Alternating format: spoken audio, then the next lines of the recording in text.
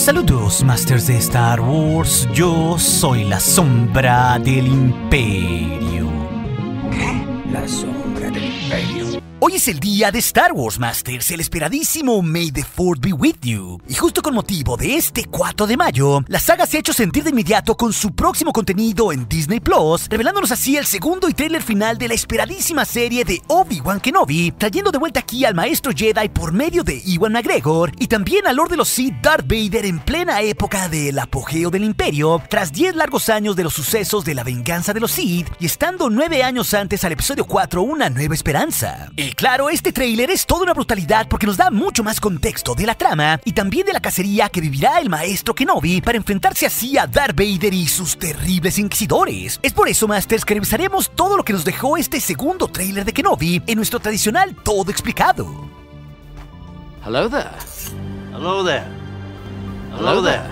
Que eso sí, también la saga nos tiró hoy mismo un espectacular póster oficial con el maestro Obi-Wan Kenobi con su manto, estando al frente de los soles binarios de Tatooine. Pero lo que es mejor de este póster de la serie es que podemos ver ahí a su ex pupilo Darth Vader con su sable de luz de un bello rojo carmesí encendido, en una alegoría a esa sombra que lo estará persiguiendo, hasta llegar así a su inminente combate más que confirmado en esta serie. Ok, pero entrando de lleno en el trailer Masters, lo primero que vemos es algunos planos distintos de forma aérea del nuevo planeta llamado Daiju. Un tugurio de mala muerte a donde Kenobi tendrá que salir de su escondite en Tatooine para realizar una vital misión que está finamente guardada en este trailer. Ahí, claro, alcanzamos a ver una nave que se acerca y más tarde algunos Stone Troopers que están en alerta, flanqueando aquí al quinto hermano inquisidor interpretado por el actor Song Kang, un personaje que es el mismo inquisidor que vimos antes en la serie animada de Rebels Masters, uno que sabemos bien que caerá más tarde por el sable de Maul en Malachor, así que este personaje en esta serie no morirá.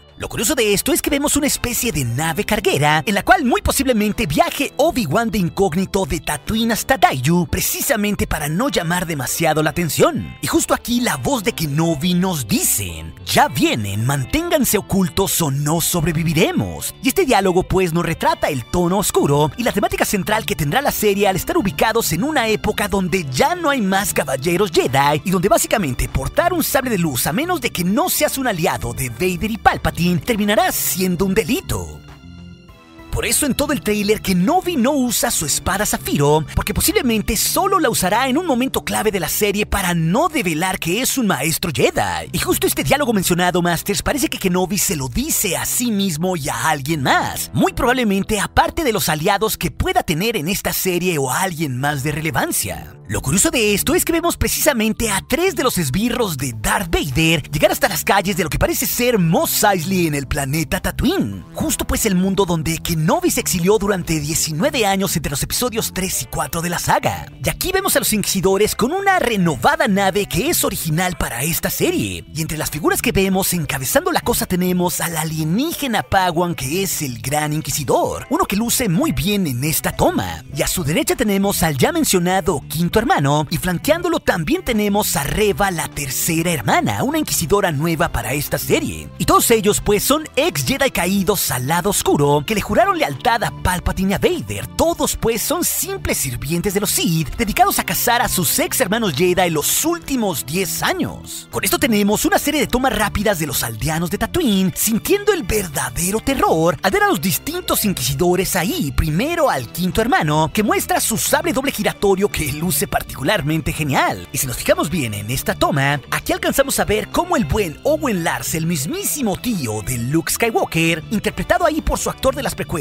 Joel Egerton, logra ser testigo de todo lo que hacen los inquisidores. Claramente, pues estos villanos están en cacería en Tatooine. Por eso vemos más tarde al gran inquisidor interrogando y a Reva por su parte haciendo lo mismo. Una nueva inquisidora Masters que claramente, por lo mostrado en este tráiler, tendrá cierto protagonismo del lado de los villanos de esta serie. Claro, aquí la escena cambia para recordarnos algo que ya habíamos visto en el anterior tráiler, que la misión de Obi-Wan Kenobi es la misión Jedi más importante de todas y que aún aún está en curso, salvaguardar a los hijos del elegido de la fuerza como esa nueva esperanza que traerá balance años más tarde. Y por eso el Jedi cuida a la distancia a un niño, Luke Skywalker, mientras lo ve jugando haciéndose pasar por un piloto en la granja de los Lars. Esto estando a la distancia pero sin poder acercarse a Luke o siquiera llegar a entrenarlo en las artes de los Jedi, ya que justo su tío evita esto. Y tal cual eso es lo que nos muestra el siguiente plano, con el antipático Owen Lars diciéndole a Kenobi que los deje solos en su encuentro que tienen en Mos Eisley. Y aparentemente esto se daría después de aquella redada donde vimos a los inquisidores y también a Owen experimentando el terrible interrogatorio. Pero aquí en todo esto hay algo clave, Masters, ya que Obi-Wan le dice a Owen que cuando llegue el momento, el chico, es decir, Luke, deberá de ser entrenado. Pero Lars de inmediato le refuta hiriéndolo donde más le duele sobre si entrenará al muchacho como entrenó a su padre. Esto en una clara y dolorosa referencia a que Owen sabe la verdad sobre lo que pasó antes con Anakin, más de 10 años atrás cuando cayó al lado oscuro y se quemó frente a su maestro en los ríos de lava de Mustafar. Y esta escena de Owen y Kenobi une perfecto las dos trilogías, recordándonos por un lado el pasado de Anakin Skywalker, pero también la futura decisión de su hijo Luke al irse con Kenobi tras haber perdido a sus tíos. Todo esto simboliza pues que Kenobi siempre estuvo ahí para él, muy a pesar de que sus tíos no se lo permitiesen. Es aquí que vemos algo de suma importancia que moverá la trama por la cacería inicial por Kenobi ya que vemos la gigantesca fortaleza de los inquisidores en el planeta acuático de Nur. Un planeta que forma parte del sistema solar de Mustafar, donde justamente en ese mundo central de lava el Lord de los Sith tiene su morada principal.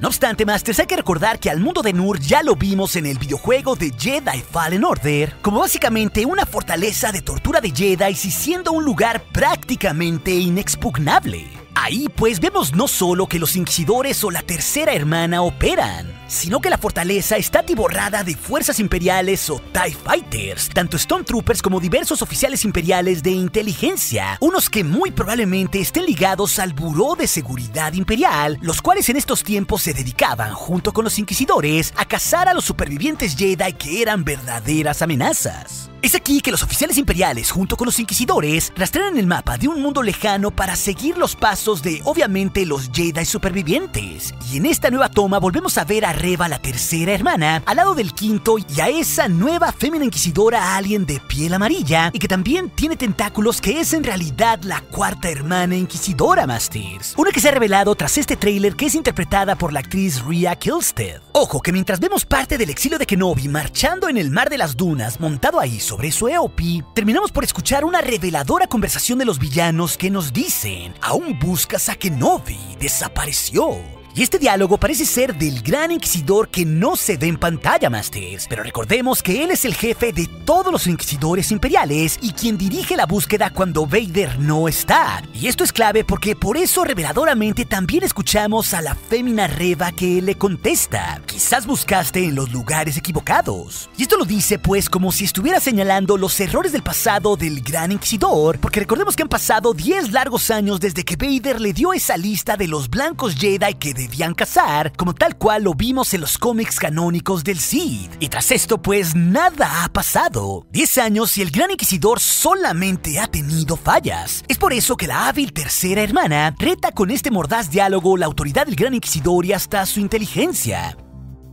Y por ello a la par, iniciando esta cacería, vemos que de la fortaleza de Nur salen varias naves, como si se trataran de sondas de búsquedas imperiales muy similares a las que ya vimos en el Imperio Contraataca, muy aparentemente para arrastrar a Kenobi en mundos distantes. Y esto es clave porque la búsqueda de Reba por Kenobi la llevará precisamente hacia ese lugar del mundo bajo de la galaxia lleno de luces, que es justamente el planeta Daiju, uno donde vemos en este tráiler que también Obi-Wan Kenobi está ahí, porque claramente vemos cómo Reba está en una cornisa y percibe la lejanía como alguien se defiende con un incivilizado blaster lanzando rayos amarillos, lo cual nos da a entender el alcance galáctico de esta cacería por el maestro Jedi. Desde luego, el tráiler no nos deja que olvidemos que la serie de Obi-Wan es una serie limitada de 6 episodios, de la cual tendremos capítulo doble en su estreno el viernes 27 de mayo en plena Star Wars Celebration, para de ahí pasar al resto de sus capítulos los días miércoles en Disney Plus, para concluir todo en su sexto episodio el miércoles 22 de junio, Masters, para que lo tengan en sus agendas. Pero justo aquí, estando en medio de esta cacería en el planeta Daiju, el siguiente plano termina por ser sumamente revelador, ya que vemos claramente cómo se ha puesto una recompensa por Kenobi en ese sitio para que el Jedi sea cazado por múltiples cazarrecompensas, corroborando pues que los inquisidores saben que está ahí independientemente de la misión que tenga Kenobi en ese sitio.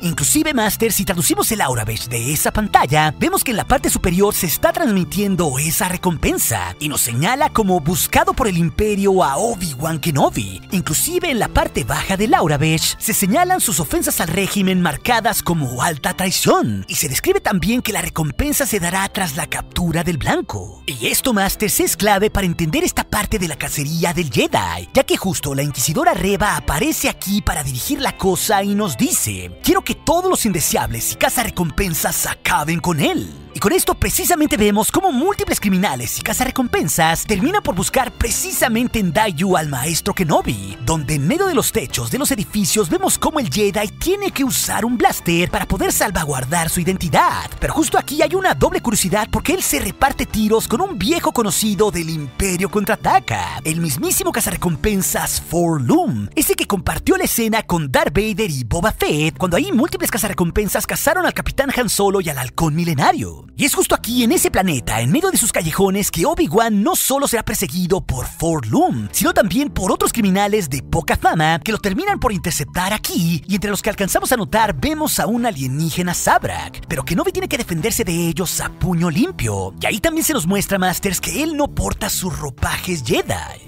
sino que básicamente en ese sitio trata de estar de incógnito, tratando de no revelar su verdadera identidad como un caballero Jedi, y mucho menos mostrar su sable de luz para no poner en riesgo su misión secreta ni a sí mismo. Es con esto que también vemos a Obi-Wan siendo perseguido cuando aún no sale de Tatooine. Esto muy probablemente hacia el inicio de la serie, y él está ahí curiosamente en ese transporte que vimos en el anterior trailer. Pero más tarde lo vemos debajo tras haberse enfrentado a unos Stormtroopers y hasta a un Prop Droid Imperial. Todo pues de nuevo guardando las apariencias con un incivilizado blaster. So uncivilized.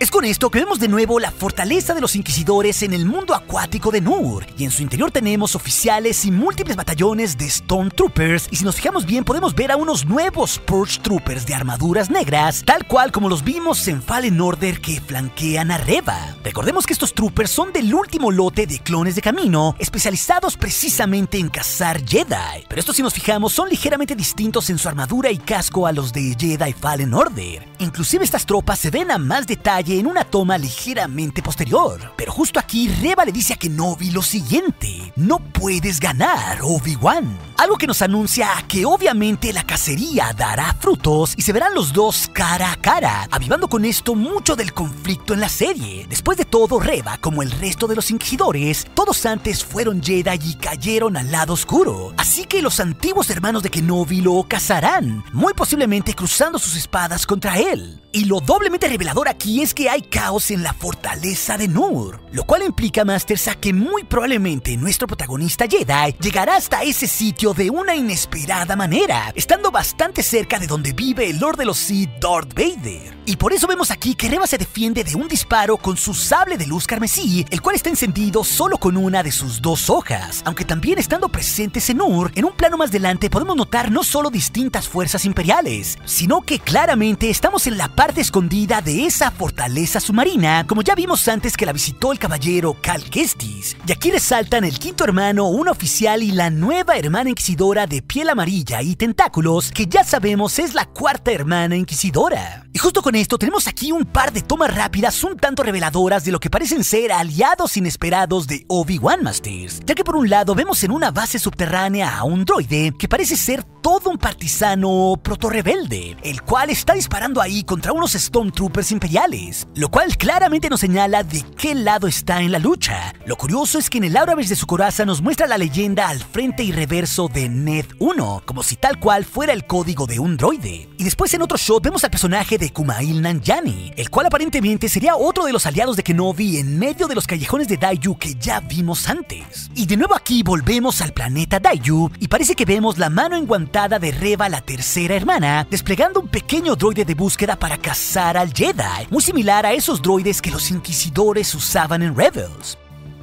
Y claramente con esto vemos cómo el escurridizo Kenobi aparentemente se le vuelve a ir de las manos a Reva en un gigantesco transporte. Pero cuando cambia el plano, la fémina aquí se muestra curiosamente frente a uno de esos clásicos transportes que más tarde los rebeldes usarían en Hot como su flota principal. Aunque aquí Reva, con el escape de Kenobi, únicamente alza su sable escarlata y le dice, no puedes escapar de él. Esto claro, refiriéndose al mismísimo Lord de los Sith, Darth Vader. Y aquí es donde el trailer en su parte final de verdad se pone bastante oscuro, adelantándonos cómo se despierta la ira del Sith y también sus deseos de venganza por sentir, tras largos 10 años, de nuevo a Obi-Wan Kenobi. Es con esto donde vemos parte de los aposentos del Lord de los Sith en su castillo en Mustafar, donde en tres Shotsmasters podemos ver cómo la versión cyborg de Anakin Skywalker se reconstruye tras sus largas sesiones en el curativo líquido de Bacta. Esto pues como ya lo habíamos visto antes en Rogue One, solo que esta vez vemos el brazo mecánico izquierdo siendo insertado en el tejido necrótico de Skywalker. Pero ahí claro no acaba lo doloroso de la cosa, ya que vemos cómo sus droides médicos le insertan las agujas en su pecho mostrando más de su tejido quemado para encender así el respirador de Vader. Todo pues formando parte de una oscura metáfora de cómo la humanidad de Skywalker fue despojada por completo para solo quedar así la máquina Sith llamada Vader. Un detalle brutal de la directora de esta serie, Deborah Chow. Y con esto pues únicamente vemos encender su panel central y escuchar la raquítica respiración de Vader en algo sumamente tétrico. Y lo mejor es que esto, Master, se contrapone con un par de planos de Obi-Wan Kenobi, uno aparentemente aún estando en Tatooine, como si él se estuviera dando cuenta por la fuerza de todo lo que está pasando. Pero al final es lo mejor ya que justo Kenobi está llamando a la fuerza entrecerrando sus ojos, y esto nos da a entender que puede sentir la presencia de su antiguo pupilo caído al lado oscuro, quizás pues cuando ambos estén muy cerca o hasta en el mismo lugar por lo que la cacería de los inquisidores solo acercará aún más a Vader hacia Kenobi. Así que todo este tono final, Masters, nos pone en contexto que en un momento de la serie la verdadera brutalidad y los deseos de venganza de Darth Vader se desatarán aquí para intentar asesinar a quien le quitó todo 10 años atrás. Así que con esto, Masters, ya nos podemos imaginar cuál intensa se vendrá la serie de Obi-Wan Kenobi el próximo 27 de mayo cuando se estrene. Pero si también te quieres saber si es posible una serie limitada de Darth Vader como la de Kenobi, esa historia te la dejaré aquí en las pantallas finales junto con otras. Y recuerde, nuestro aliado es la fuerza y un poderoso aliado es. Hasta aquí su amigo, la sombra de Kenobi.